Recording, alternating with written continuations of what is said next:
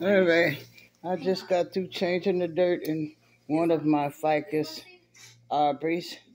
Yeah, she's trying to make it, so I put neem oil. I cleaned the leaves off with neem oil.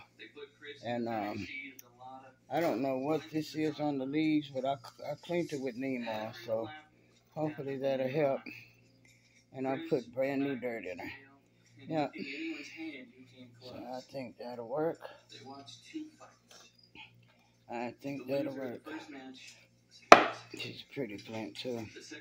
Yeah, she's pretty. Okay. Like Ficus Aubrey. I got another one to do. All right. Like and subscribe. Bye.